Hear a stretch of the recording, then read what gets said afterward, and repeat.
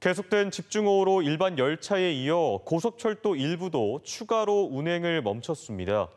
철도공사는 토사 유입이나 산사태 등의 피해 발생 가능성에 따른 선제적 조치로 오늘 오후 2시부터 경부선 동대구에서 부산까지 구간을 비롯해 전라선과 호남선 일부 등 일반선 구간을 지나는 KTX 운행을 중단하고 고속선 노선만 운행한다고 밝혔습니다.